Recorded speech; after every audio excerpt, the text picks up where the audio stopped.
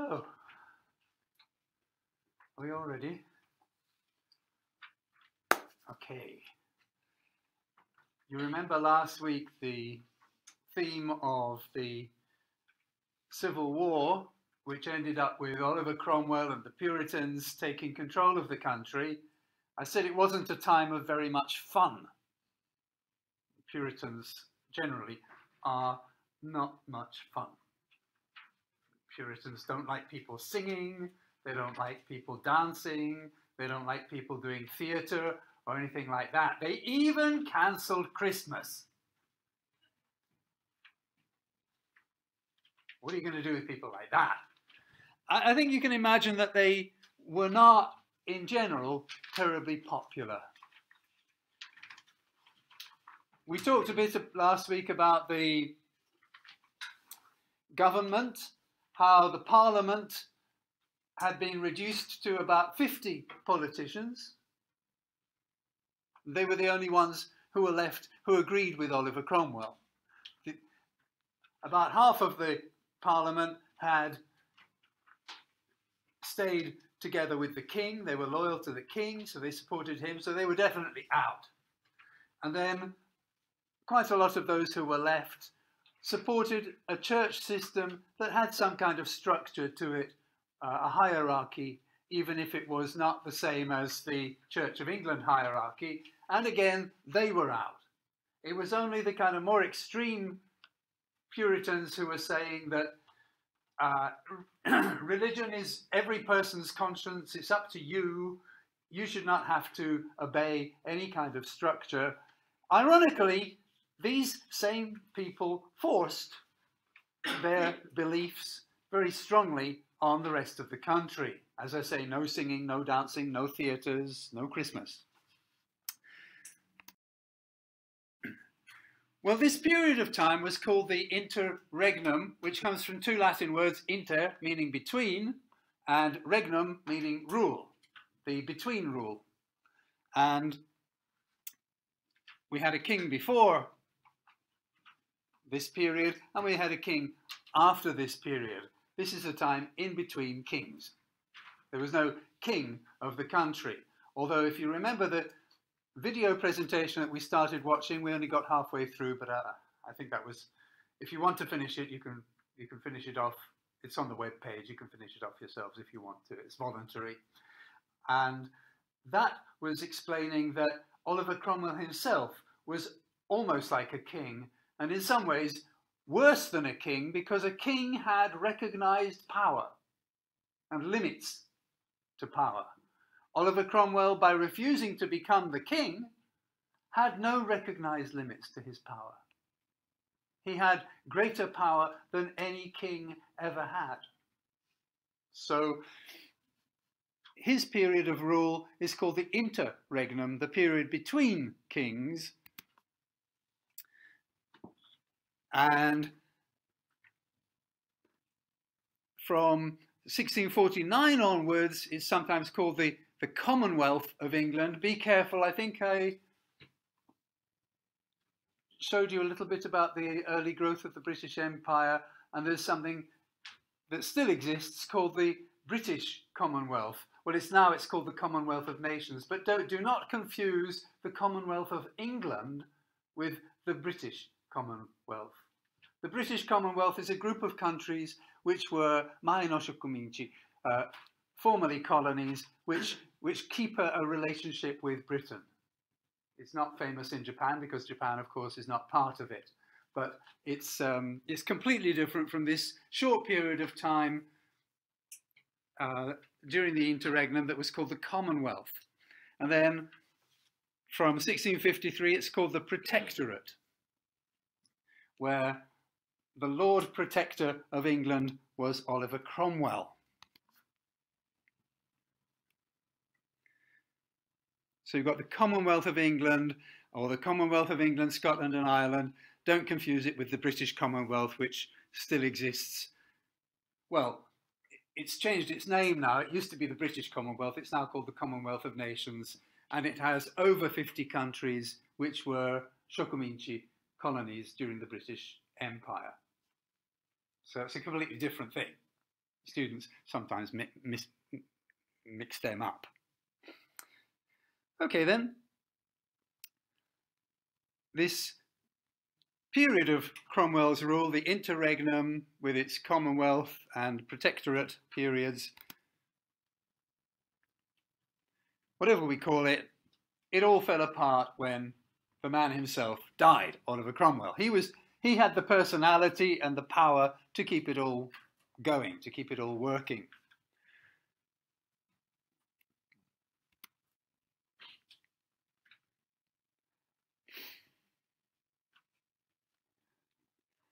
Well,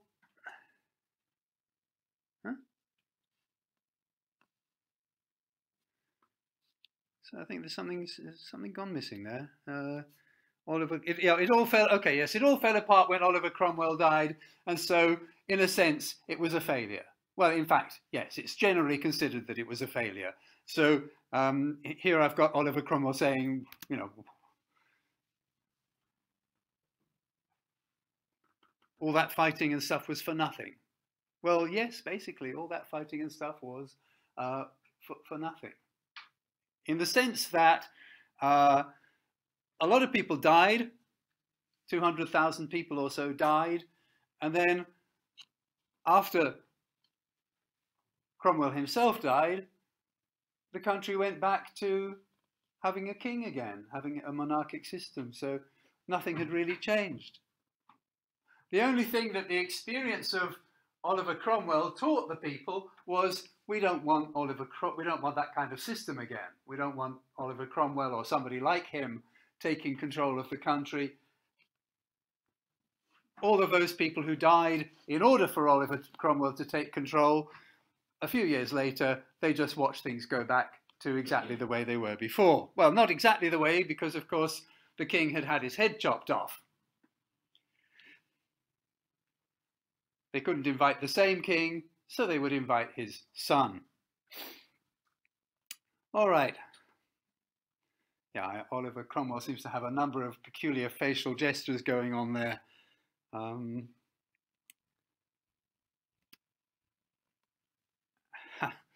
and of course, he would not have been very happy to know that this whole revolution had been a failure and after his death everything went back to the way it was.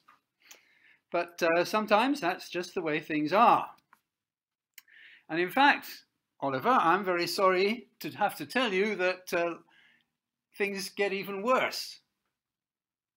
In the sense that uh, Oliver himself, although he's dead, still has another little chapter of his story to be told. see, after Cromwell died,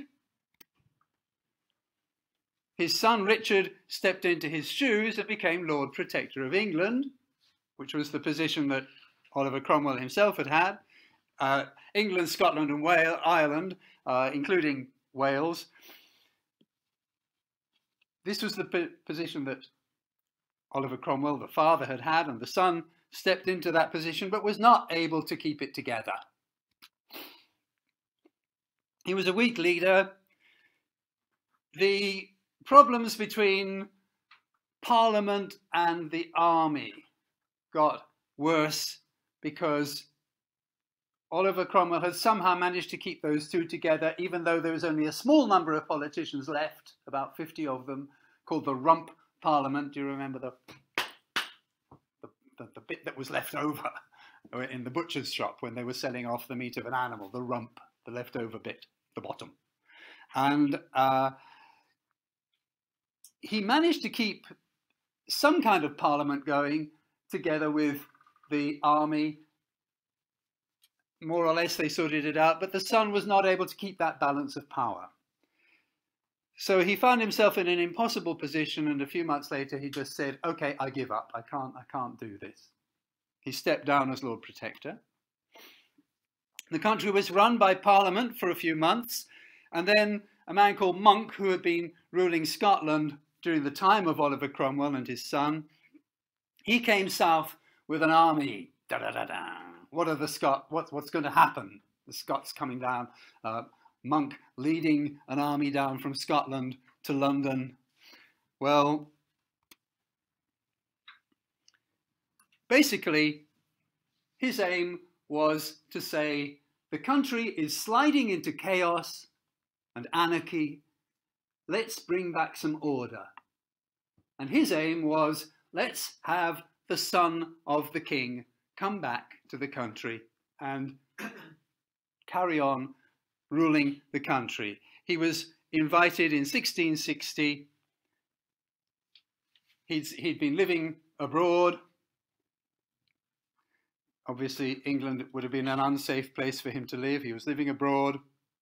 And he was invited to come back in 1660 and become king. So, in English, we have this saying, the king is dead, God save the king.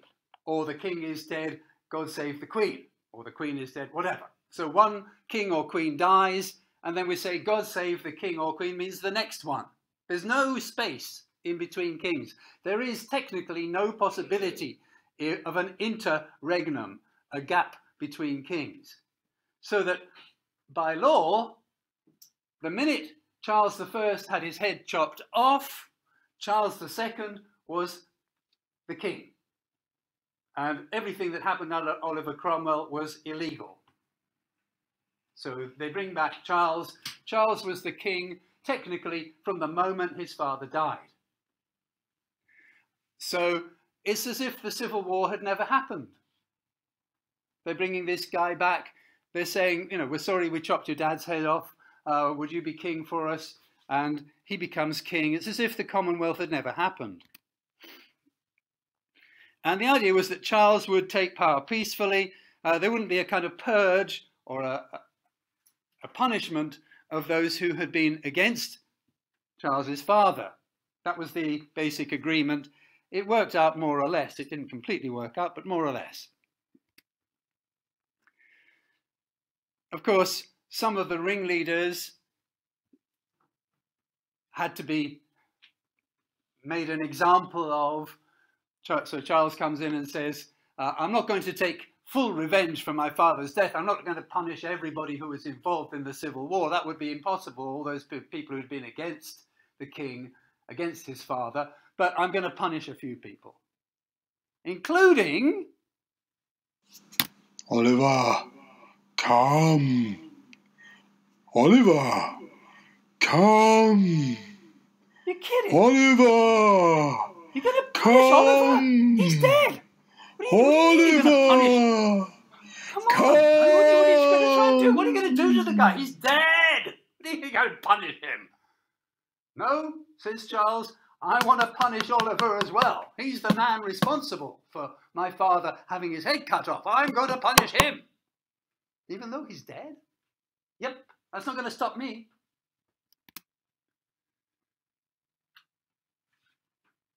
So even though Oliver Cromwell is dead, he's going to have to be punished. Actually, this is something that happened quite often in those days. They would dig up the dead body, all right, and they would give the dead body a punishment. Okay, you think they're I think they're pretty. I think these early modern people were were pretty weird. Yeah, but that's what they did. Okay, they dug him up. Uh, they had to tie him in a sack because he was rotten and he'd have fallen to pieces, along with a couple of others, and hanged him publicly by the neck. All right? And then his head was cut off, and they put the head uh, on a stick for everybody to look at. So that's what happens to traitors. And so this is kind of joking here. I, I, I, picked this up on the internet that he's getting a traitor's death. Uh, he's already been dead for some time, but uh, they they dig him up and they they hang him and then they chop his head off and put it on a a, a stick, a pike, as an example. So that happens in 1661. But basically, Charles is a pretty easygoing kind of person. Yeah, yeah, yeah, I know, yeah, I know, I know, I know. But it doesn't matter. All right? They're not bothered by it. They're still going to dig you up, Oliver. And they're going to make an example of you. Okay? You're going to have to put up with it. It's not going to stop those people. So, yeah, he was dug up, hanged in public for several hours, and after that, his head was chopped off and displayed at Westminster. So, enter the new king.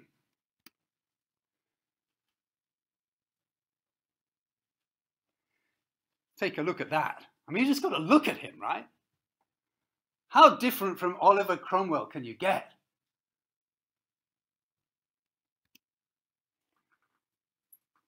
Okay, this is one of my joking kind of. So it's the English people say, excuse me, the, gov- the parliament, you know. Yeah. Would you like to be our king? Yeah. Um, sorry about your dad. Yeah, well, I want a bit of revenge, but you know. Hey, though, man, no worries. Okay, I mean, we wouldn't do anything like that to you. As long as you behave yourself. A definite limit has been put on the power of kings. You go too far, and you're in trouble. That's the message that is coming out of this situation.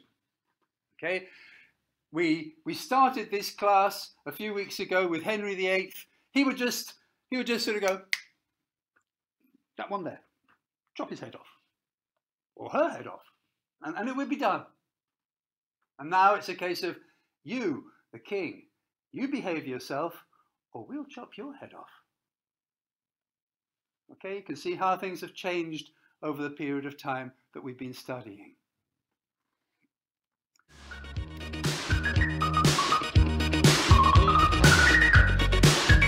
This guy just wants to have fun.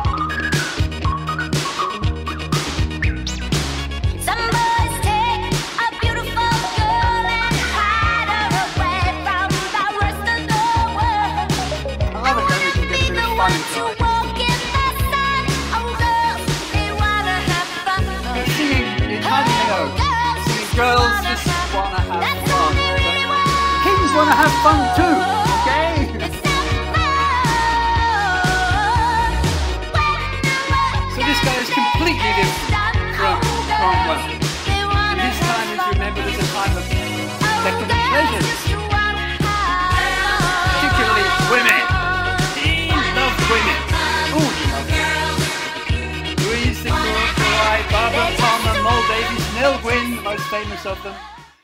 He had the pick of the most beautiful women of the time. Uh, these are some of his high class prostitutes, basically, that he enjoyed. Um, another of my silly conversations. Excuse me? Yes. We think your legs look very nice in those tights. Could you just. Oh, yes, of course. So, right, just so you kind of remember this guy. You're not going to forget him now, are you? All right, the guy, the king who wants to have fun. Yeah? And the women around him who also wanted to have fun. The Puritans weren't much fun for women either, of course. You know, they, they didn't give anybody very much fun. And his reign is remembered as a time of partying, just letting go, going, the, going in the opposite direction after all of this strictness of the Puritans. He was married, as well as having loads and loads of lovers.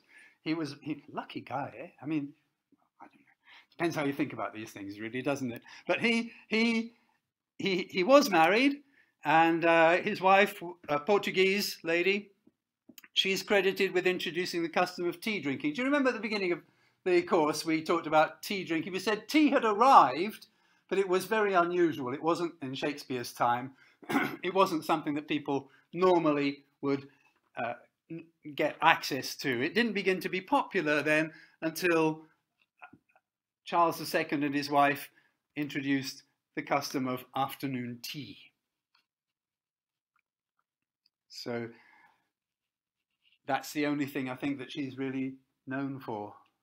She she she enjoyed drinking tea, and uh, together they made the pop the, the custom of drinking tea. They made that custom popular.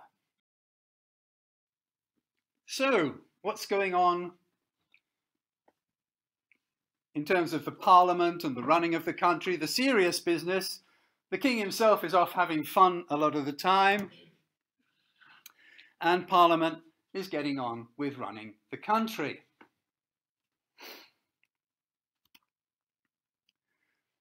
Now, the Church of England, I've said it had been transformed into a Presbyterian organisation. Another way of saying it is the Church of England basically was closed down and a Presbyterian organisation replaced it.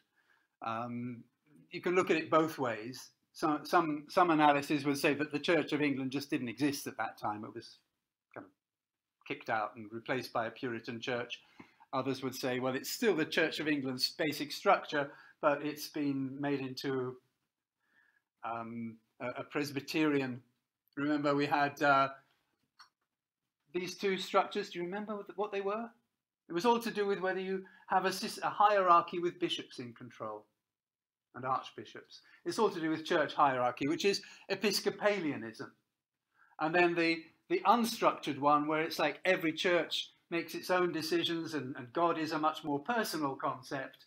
That's the Presbyterian concept.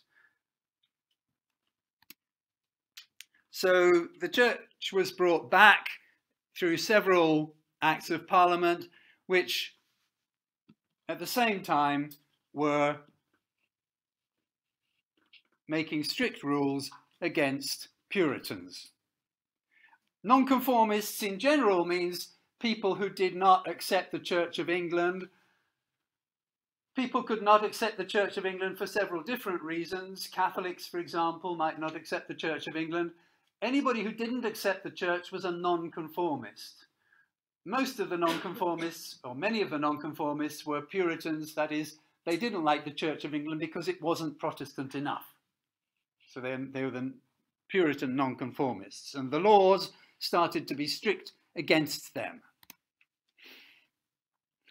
And the group of laws that was made there at that time uh, was called the Clarendon Code, after the chief minister who was making those rules. And at the same time, the parliament decided that 13 of the ringleaders were to be put to death, several others were to be put in prison for the rest of their life. But most of the supporters of Cromwell were, were pardoned, were just allowed to carry on with their lives. They, they didn't want to carry on. If they carried on punishing people, they would have had a backlash. It would have been another violent period in, in the country's history. They just wanted to bury the past and forget about what had happened. So they punished the ringleaders and, and then left it alone, more or less, except for these strict rules that now came out against Puritans. The most powerful political force were the Royalists. The Royalists were the ones, Royalists, um, the military of the Royalists, the soldiers of the Royalists were called Cavaliers. I think we talked about the Cavaliers a little bit last week. And they were the main political force, but the parliamentarians, the Roundhead, the, their army were, were, called the Roundheads. Uh, the, the followers of Oliver Cromwell, well, they were the opposition, if you like. You're beginning to get something that looks like the two-party system that we've got even today, and it's more or less a two-party system in British politics. You've got left-wing and right-wing, progressive and conservative. You, you're seeing this where the royalists support the system as it is with the king, the parliamentarians want a system without a king, and they, they are they're not being told, oh, that's forbidden now, we've got a king, they're being told, okay, you, you, you can believe that. So we're moving towards a kind of democratic situation. Remember, people could believe in Catholicism as long as they just accepted this is not a Catholic country. People could believe in a parliamentarian system, a republican system with no king, as long as they accepted this country does have a king, okay, you can believe something different, you can want something different, but as long as you're not violent, okay, it's okay to believe it and to, to, to have that political belief, just like religious beliefs. As long as you don't betray your country or attack your country or do anything against the normal situation of your country, you can believe what you want. So we're moving towards a more, slightly more democratic kind of position. Again, if you think back to Henry VIII, if you thought one little thing that was different, you were going to be dead. Now, this division between royalists and parliamentarians, as I say, it can be seen as the origin of the two party political system. There's been a lot of changes over the years, but it's still there at the heart of British politics and society. So it's important to see that this later part of the 17th century sees the beginnings of the modern parliamentarian system.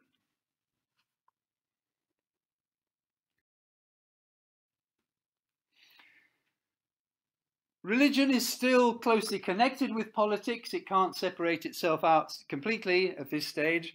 Religion is still part of the picture. And we've got not just the parliament, but the, the, the society itself divided into two main groups, two main factions, two main kinds. On the one side, you've got the royalists, the supporters of the king, popularly known as cavaliers. A cavalier, basically, uh, it comes from caballero in Spanish, chevalier in French, and it just means a horseman, a man on a horse, a cavalier, a man on a horse. And so they were given the name uh, cavaliers because typically they they were doing battle on horses and the other side, the parliamentarians, were commonly called roundheads because they wore round helmets, which were very practical on the battlefield. And if we want to understand England at this time, we, we need to understand these basic types. And I would say that it's not just understanding England in the 17th century, it's understanding how England is now. It goes back to this time. It's not exactly the same. Lots of things have changed, but I think it's very interesting to compare these two types of Englishmen from the 17th century and look at uh, the way that's developed into modern society. These are the Cavaliers. All right, they uh, they typically carry a sword. They dress as gentlemen, high class. They're they're they're the upper class. They're the kind of elite They've got the hair itself is, is very often not real, it's a wig. Okay, it may be real, it may be a wig. Okay, very often it was a wig. For some reason, wigs were a big thing. Uh, wig, katsura, uh, is spelled like this, by the way. W-I-G. Uh, I'm, I'm, I'm putting that up for a reason. You'll understand in a minute why I'm putting that up. Uh, but yeah, that long hair was very often not real. So this is the cavalier. Let's look at what's what sort of person, what kind of things can we put together to build up the kind of persona, typical character of the cavalier. Typically, a supporter of the king. Well, that's more or less atarimae. The cavaliers were supporters of the king.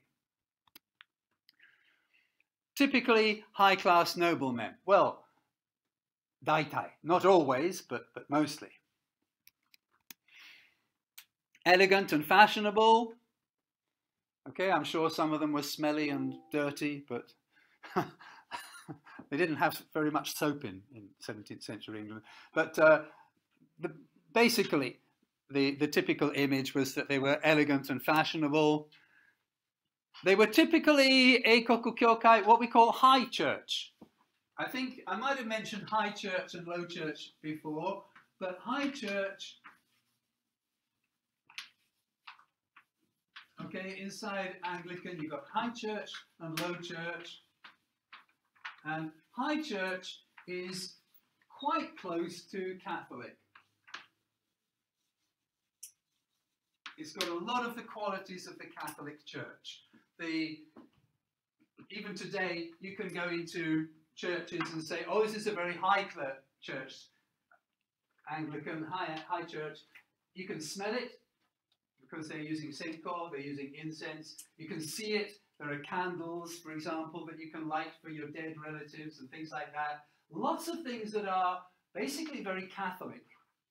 And then you can go into another Anglican church, even today, and it's low church. It's closer to the Puritan ethic. They won't be using candles, they won't be using incense, there won't be pictures or statues around the church. It'll be very simple, very bare. Because that's the way that Puritans believe religion should be. It should not have a lot of decoration and, and frills. So the Cavaliers were typically high church and very often sympathetic to Catholics. Rather like the Stuarts themselves, the Stuart kings, as you notice, they tended to marry Catholics. They tended um, to be closer to the Catholic way of thinking. So possible Catholic sympathies. Not always, but sometimes, quite, quite frequently. They'd be famous for being fun-loving, artistic, many, many of them were poets and things like that. They had a strong code of honor, so that that sword would come at you. You, you insulted my mother, you're dead, kind of thing.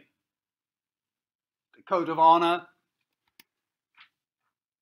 Very individualistic.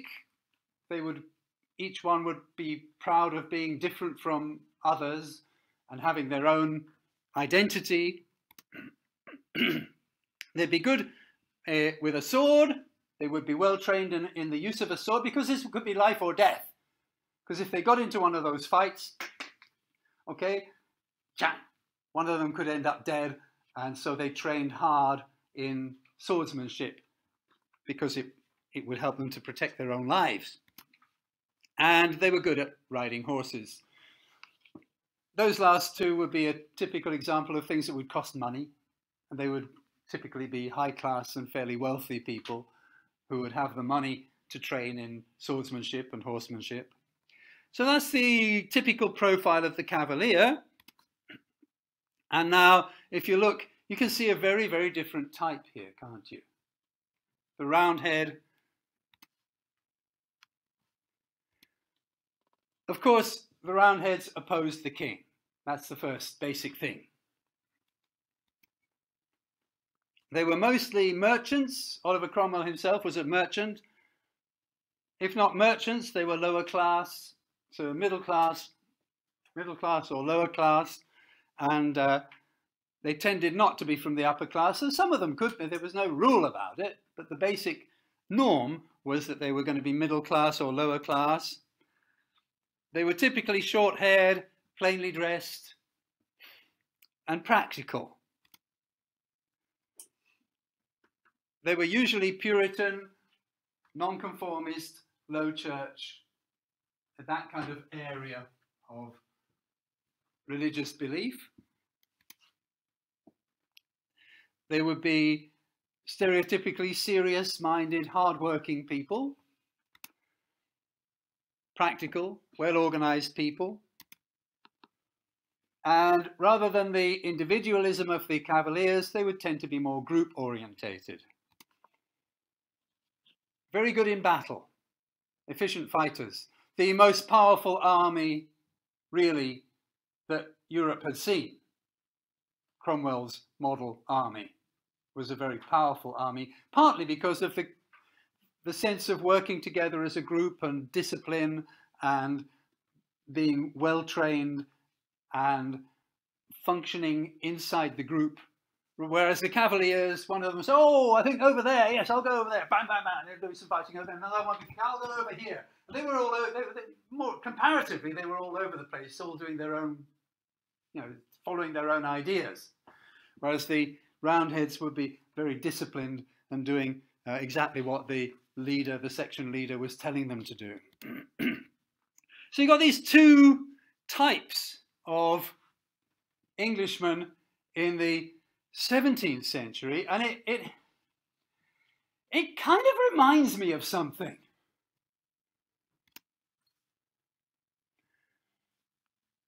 The Cavaliers and the Roundheads, of course, you know, it's a little bit stereotypical. They weren't all like that. Okay, they weren't all like these two young Cavaliers, and they weren't all quite like these Roundheads, but, but they do help us to understand two character types in the society and the politics of 17th century England. And do you know, there's this French saying, it says, plus ça change, plus c'est la même chose. The more it changes, the more the same it gets. Does that make sense? The more it changes, the more the same it is. Well, see see if you understand what I mean. When I was growing up in the 1960s, there were hippies and skinheads. Can you guess what I'm can you guess where I'm going here? There were hippies. And there and there were sorry, and there were skinheads. You see what I'm saying?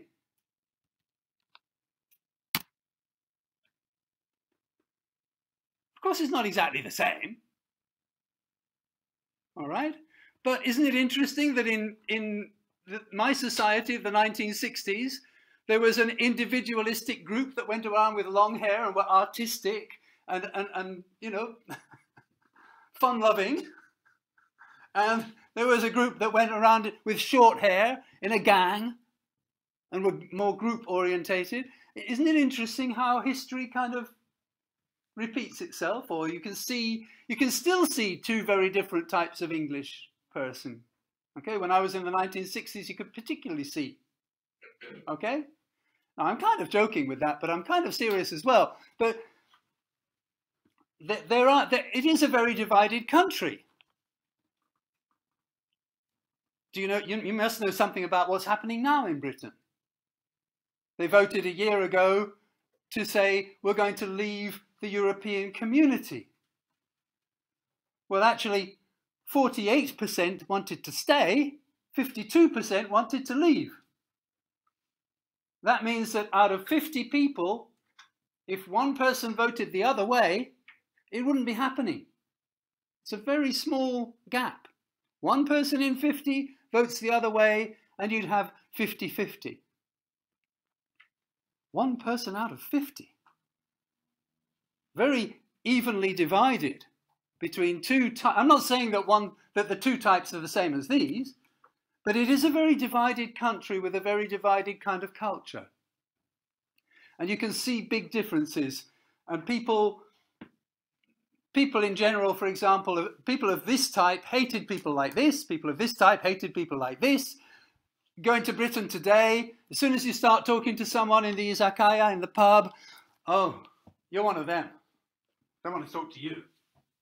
Okay? You're one of those who wants to leave Europe, or you're one of those who wants to stay. Nobody wants to talk to the people on the other side.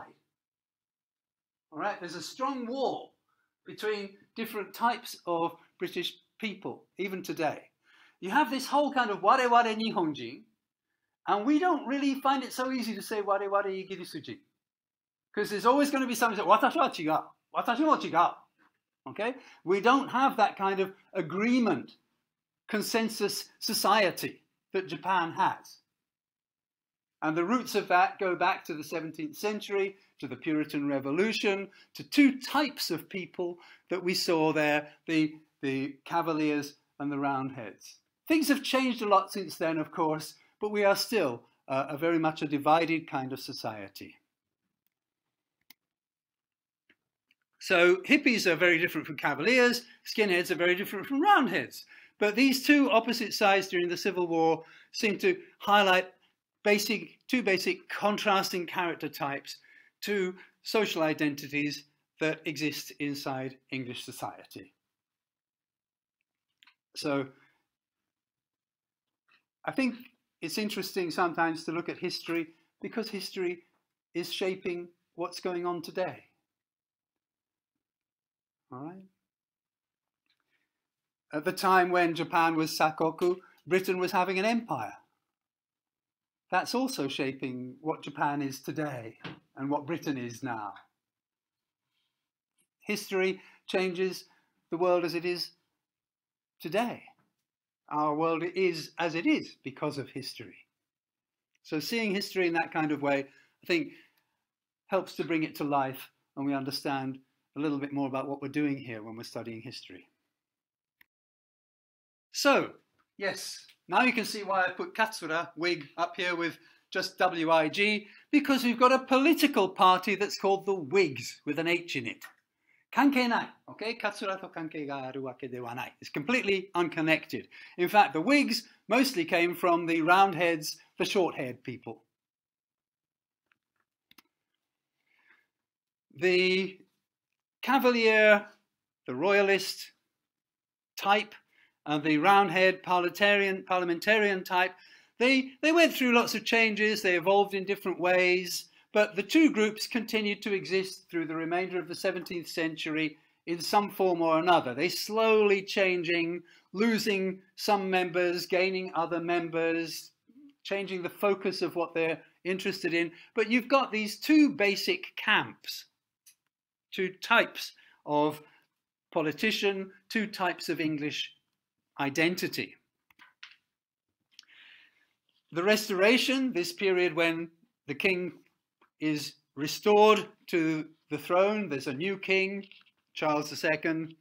During the Restoration, there was a big fight in Parliament about Charles's brother James, who actually later on becomes the uh, king. What's the fight about? Well, the fight is about James's religion and, and his children. Now, Charles himself, you can imagine, with all those women, there were quite a lot of little, little, little sons born and daughters, but they were not his legitimate sons and daughters. His wife gave him no children. So that if Charles dies, or when Charles dies, because everybody dies in the end, uh, his brother will become the king. if not, it wouldn't really matter what James did. But because Charles has no children, no legitimate children, then it matters that James is going to become the king. And the problem is here that James has converted to Catholicism. And he's actually married a Catholic woman. His first wife was a Protestant, uh, although, and, well, initially, when, he married his first wife, she, she was a Protestant. Um, but uh, his second wife was Catholic right from the beginning. And in 1673, Parliament made a new law. And the law said that if you are in an official position, you have to make a statement against the Catholic Church and you have to commit yourself to the Church of England. So you couldn't be a kind of kakure catholico if you were in a, an open official position. You had to say, I am against the Catholics, I accept Eikoku Kyokai, the Church of England. Well, of course, James couldn't do this. He had kept it a secret that he was a Catholic, but now, because of this new law, barita, it came out that he's actually a Catholic. He couldn't hide it, and he had to make it public that he was a Catholic.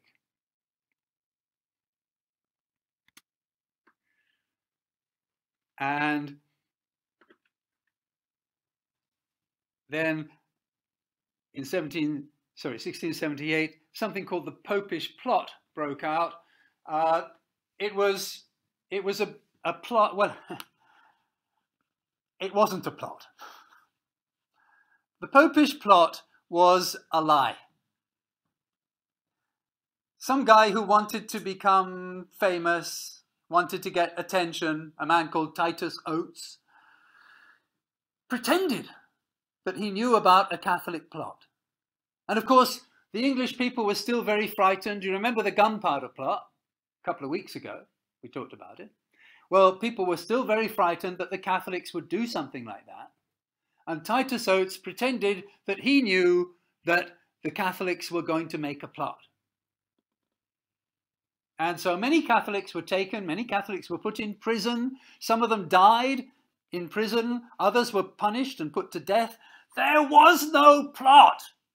Saishokara, there was never any plot. It was just a lie. Titus Oates made up a lie. The English people didn't seem to care that it was a lie. They still suspected Catholics very, very much. And the, the panic of the popish plot carried over into a kind of panic that James would become the, the, the, the king after Charles died. So the Parliament wanted to stop James from becoming king. And those people who wanted to block James were called Whigs, and of course they came they came mostly from from this area, okay, the Roundhead sort of area, the Low Church area.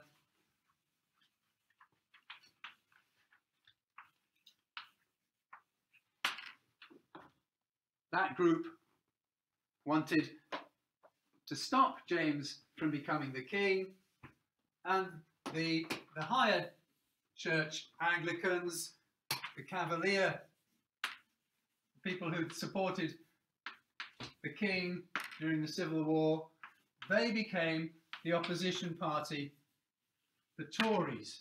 Now, Tory, I've put one Whig, so let's have one Tory. Tory. Um, we, we don't actually know どうしてこの変な名前を作りましたか We don't really know. We know that Whig was a kind of bujoku and Tory was a kind of bujoku. But the party said, okay, you call me a Tory, I'm a Tory. You call me a Whig, I'm a Whig. But どうして部族でしたかあの誰もわからない。今わからない。we don't know what was we don't know what these words really meant. Okay? But they came to represent the the new version of the kind of parliamentarian roundheads became the Whigs in the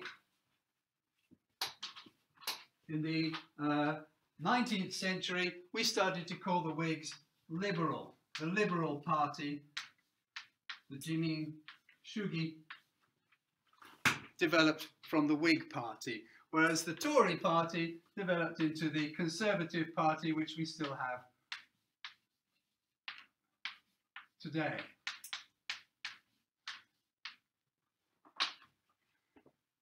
Um, the Prime Minister today is from the Conservative Party. So this is the kind of development politically of the modern parties. The, the Labour Party grew up in the 20th century, so it's kind of kankenai for what we're talking about here. But uh, the origins of these two major parties so you've got uh, 17th century, just like that. 18th century, just like that. And 19th century, it's like that.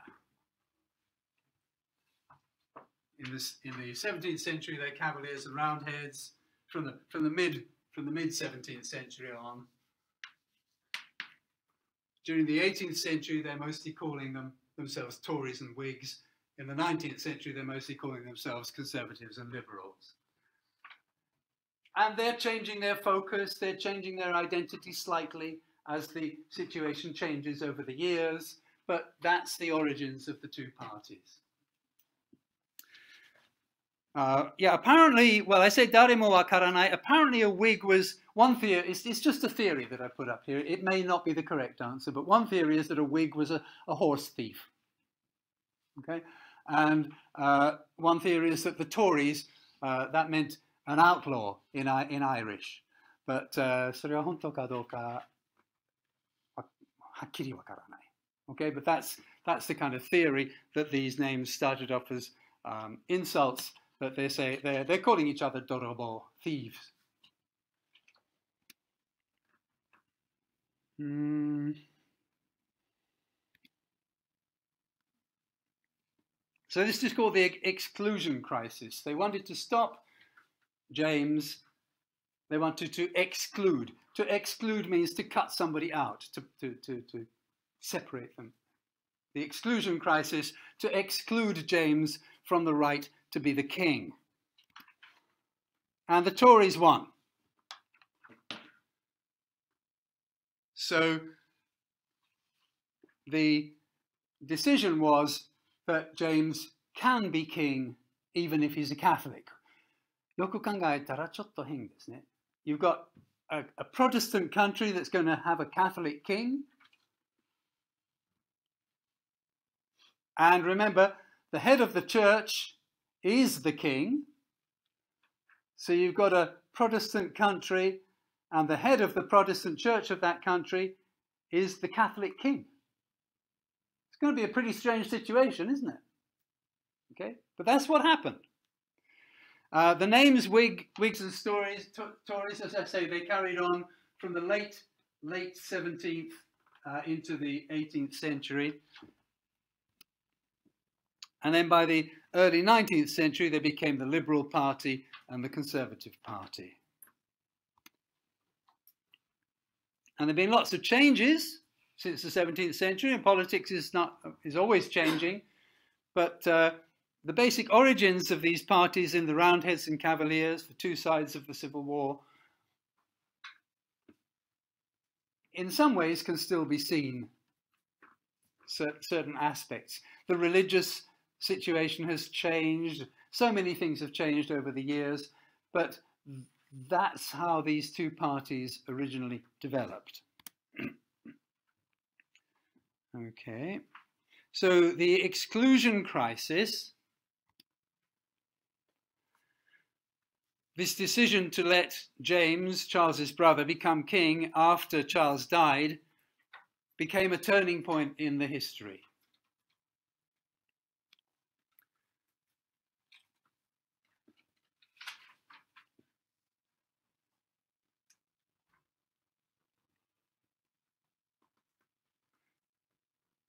James actually did become king, even though he was a Catholic. There seems to be something a little bit wrong with the print, with the um, the text there. It says apparently converting to Catholicism. Um, yeah, Charles II himself, the fun-loving, you know, kings just want to have fun guy. Apparently, he also became a Catholic on his deathbed. That was the story. The the Stuarts seemed to like this. Well, they were very high church. Uh, they seemed to have a kind of feeling for the Catholic Church. And it said that uh, Charles also became a Catholic on his dead, deathbed. I don't know, there's something a little bit wrong with the text of the presentation there. So James actually becomes king, even though he is a Catholic.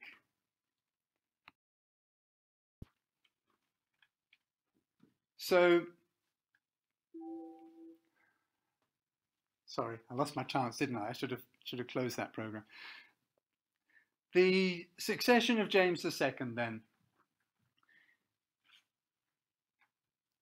People basically are confused and unhappy with the idea of having a Catholic king. As I said before, Charles had several illegitimate children, but he didn't have a legitimate heir. So when he died, James became king and James was Catholic. And he became king in 1685. At first, things seemed okay. There weren't any special problems, but twice there were rebellions, people who wanted to replace him, get him out, and his response was to, to get a bigger army, which was not a popular move. In general, kings having big armies was not a popular move. Remember, that's what had caused the problems with Charles I. He wanted to build up a big army against Scotland, and the people were suspicious. Who are you really going to use it against? Are you going to use it against Scotland or are you going to use it against us? And the same sorts of problems. In fact, all of the same problems, really, that were with Charles I, those problems come back with James II.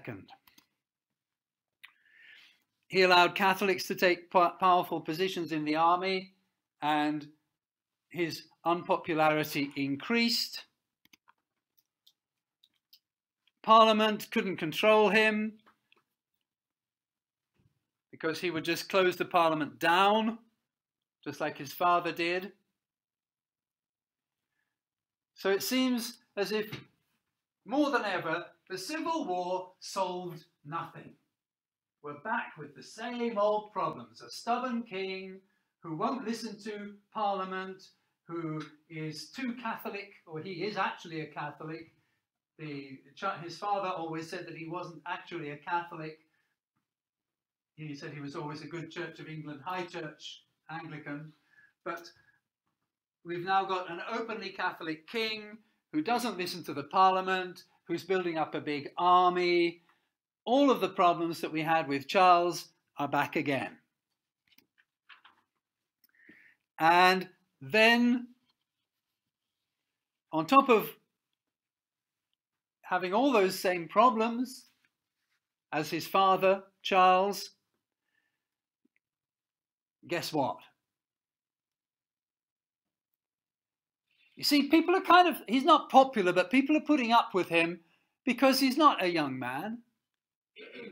And they're figuring he's going to die. All right?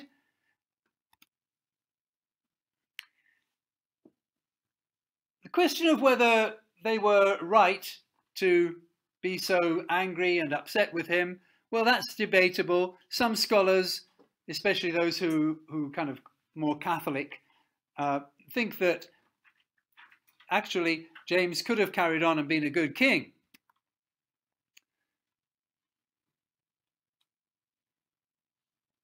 So it's a, a, a, belief that the people had and that the parliament had, but it's not necessarily true.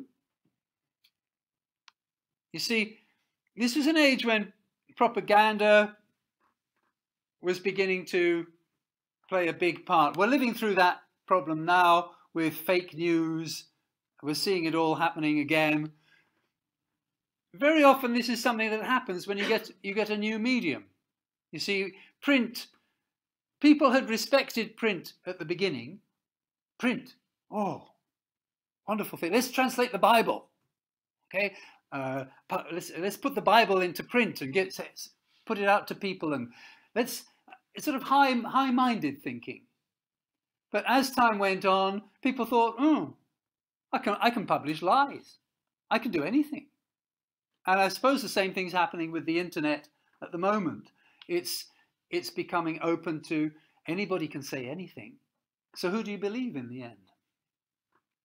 So the, the popish plot, the fact that it didn't exist, the English people never seem really to have noticed that there was no plot. They never, they never felt sorry for all the Catholics who died, and the anti-Catholic feeling actually continued to influence Catholics for another 150 years or so. Catholics were legally uh, discriminated against after the Popish plot, and even though the plot wasn't true. So some historians say the same sort of thing about James, that really the protests against him were kind of fake news. So that's another analysis, another approach. And I think it's worth understanding that there is no Kankakee history, or not much. Most of history is how do we understand the history? How do we interpret it? What is our analysis of the history? And there, that's where history gets interesting because you can see two people can see the same thing but get a different analysis. But basically, what happened was there ended up being another revolution. Now, I'm sorry, I'm a little bit slow getting to the point here, but the point is this. We can't know what would have happened if he continued as king, but we, we can look at what happened and the way it happened. He was 51 years old. He probably wouldn't have lived all that much longer. He wasn't popular, but you know, things could carry on. Why did there have to be another revolution? Well, he and his wife had a child. They also called the child James. These people didn't have much imagination. It was Charles or James, James or Charles, all the way down the line. Uh, 18th century is even worse. They're all George, George, George, George, George. At least they get Charles and James. At least they get two different names. They were all the same name. Uh, anyway, um, guess what people are thinking? They're thinking, oh my God, the king dies and we have his Catholic boy. And we're going to have Catholic kings in a Protestant country forever. Or as long as we can see. When's it going to finish? People were able to be patient while he didn't have a son. He had two daughters, and his two daughters had been brought up as Protestants from his previous marriage. So people were thinking, he'll die, his daughter will become queen, and we'll have a Protestant queen. So, you know, gamin chiot, let's just wait and he'll die. But then he has a son, and people think, oh, right, the son will become king. And so, feeling was, we have to do something. Now, he had these two daughters who were Protestants, but it would be the son who'd become king when James died. So, of course, we, we suppose that the son would follow his father's religion, and so the country will have a Catholic king after James uh, after James's death. So, yeah. Just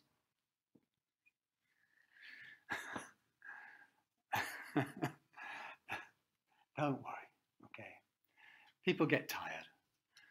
Actually, okay, I'm going to tell you. This morning, I had to do the checking of Shiken Mondai, and everybody's, you know, were very seriously looking at the new guy. Shiken, and oh, what is this right? And suddenly, I'm going.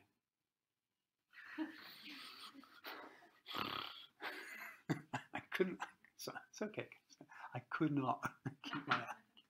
I had to get up and go to the washroom and wash my face. So it's okay. It can happen to anybody. It happened to me this morning. now, um, okay. So instead of having the possibility of England having an indefinite number of Catholic kings, uh, a group of the kind of high class elite, the nobles, invited James's daughter and her husband to take the throne.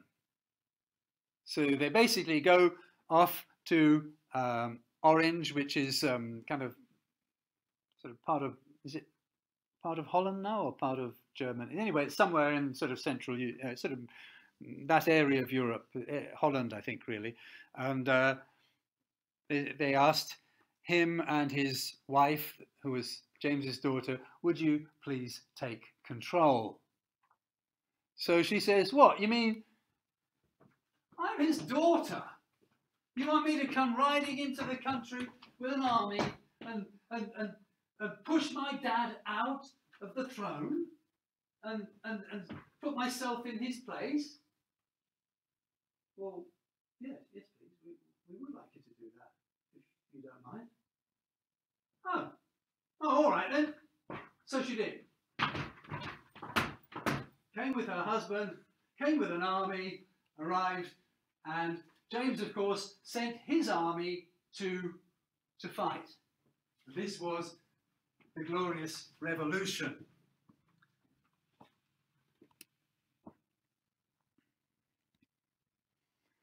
Now, the Puritan Revolution was basically a failure, but by contrast, the Glorious Revolution was apparently a huge success. William, with his wife and daughter, sorry, wife, sorry, his wife, the, the daughter of the king, William arrived with an army. He's going to march against the king, against King James. James sends his army to fight, and guess what happens? Imagine it's the night before the battle, okay? And, um, William's soldiers are in the izakaya, okay, and getting a bit kind of drunk, and uh, uh, we're going to fight against James's army tomorrow, aren't we? Come on, let's beat them! Yeah, by! And then these other people "Well, you're you're fighting, you're fight, you're James, you're James's army, are you?" Yeah, yeah, we're going to fight those supporters. Of, we're going to, we're sorry, we're Williams. Are, we're we're we're we're with William, and, and uh, we're going to fight against James. Oh, we're we're we're, we're James's army. Well, we're going to beat you tomorrow. You watch. Well, actually, we're just wondering, you know, we don't really think we agree with the king. Maybe we'll just join you guys. Come on then! Campaggiolo! Let's all fight against the king. And half of, or, you know, a large part of James's army just joined the other side. or else just left and went home. Nobody really wanted to support James. Okay? So we call it the Glorious Revolution because nobody died. Nobody had to fight. Nobody, nobody got killed. The army just said, "Oh well, yeah, we agree with you. We, we would prefer to have William. We don't want James very much." So James's army, James's army changed sides or, or just went home and didn't didn't fight at all. So we call it the Glorious Revolution because everybody, except for James, everybody got what they wanted without having to fight, and there was no there was no bloodshed. The only person who was unhappy, of course, was James himself. He had to run away, and he spent most of the rest of his life in France. So the people of England seemed to get what they wanted without even having to fight for it. Now, that's a simple way of looking at it because, in another way, a revolution is supposed to be a kakume from the bottom, yeah? What do they call it when it's not really an, a, a revolution from the bottom? It's, it's some little struggle at the top, power struggle at the top. They call it a coup, using the French word, or they call it a putsch. A coup d'etat, yeah. It's not really a revolution. It's a power group that gets control. It wasn't really a revolution from the bottom up. Uh, what, what happens now is that Parliament knows that it's got even more power than before. We can chop a king's head off, we can make a king run away. Kings come second, Parliament comes first. And that's all really that the Glorious Revolution is proving that Parliament is more powerful than the king. And the 18th century is going to be a horrible century of social injustice because the ruling class can do what it wants now. And the ruling class abuses its power almost as badly as the king abused his in the time of Henry VIII. So that the, the 18th century has got a pretty ugly history uh, of exploitation of the poor and the rich getting richer. And part of it is a result of the Glorious Revolution. So it's not really so glorious in a lot of ways. But it was called glorious because nobody died and people seemed to get what they want without having to fight. So, yes, was it really glorious? Was it even really a revolution? That's another question. I would say it's not, it's not really a revolution, it's a coup d'etat. Uh, it's not really glorious because the controlling elite uh, treat the poor of the country very badly. And there's quite a lot of debate even now about was it a good thing for the country or not.